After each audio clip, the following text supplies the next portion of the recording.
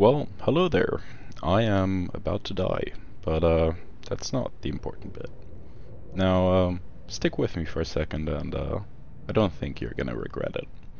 So, we were just messing around in uh, custom battles a little bit.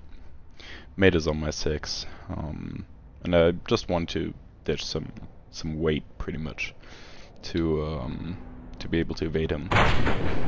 Didn't end up working, so uh, I died anyways. But uh, here's the interesting bit.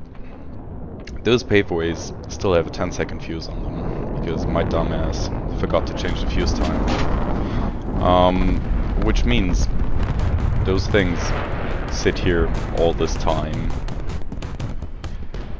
just to take out an innocent, innocent F-104S.